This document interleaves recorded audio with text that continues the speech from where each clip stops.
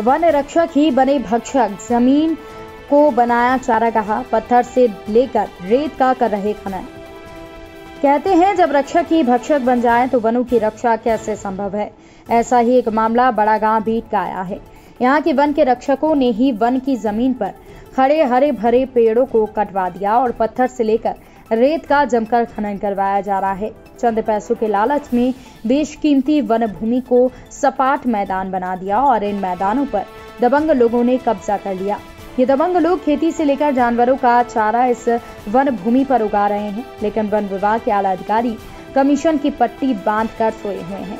Badagaon beat के प्रभारी और गार्डों के द्वारा वन विभाग की भूमि को चारागाह बना दिया गया है और जानवरों के मालिकों से अवैध वसूली की जा रही है।